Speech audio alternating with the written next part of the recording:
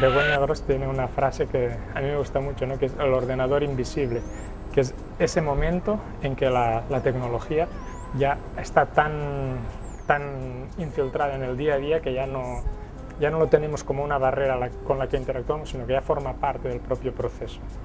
Pero siempre ya pensando en cómo las actividades que vamos a realizar, normales, van a vincularse con el blog. No hacer una actividad normal, la, que teníamos pensado siempre, y luego cómo la llevamos al blog, sino que ya la propia actividad contemple que trabajamos con un blog.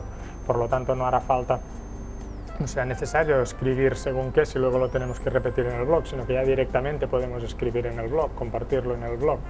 No sé, es ya pensarlo desde el inicio en la idea de, que la herramienta esté transversal a todo el proceso. El sistema educativo es un sistema muy complejo, ¿no? hay muchísimas personas implicadas, instituciones, distintos niveles, por lo tanto cuando se introducen cambios aquí son cambios que afectan a mucha gente y es difícil llevar a cabo esos cambios. Una de las principales es que va a transformar la manera como los profesores están trabajando hasta ahora. Cambia su rol, cambia el rol de los estudiantes, cambia el rol de la propia institución, cambia el rol de los padres, de las familias, lo cambia todo.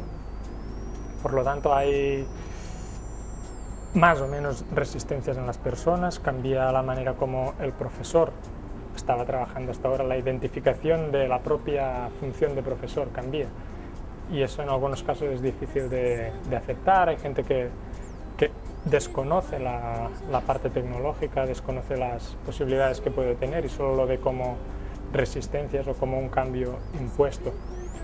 Y hay que trabajar para que esto no sea así, hay que, hay que contar con todas esas personas implicadas, cada una de ellas, para que se sientan identificadas, se sientan participantes de ese proceso y realmente se pueda avanzar en ese sentido. Claro, en ese nuevo rol del profesor, en muchos casos está el de asumir que habrá alumnos que sabrán más que él en algunas cosas, ¿no? en el uso de la propia tecnología o que ellos ya no son los únicos poseedores de la información, sino que el alumno tiene acceso a esa información por otros medios. ¿no? Internet le brinda muchas nuevas fuentes de información.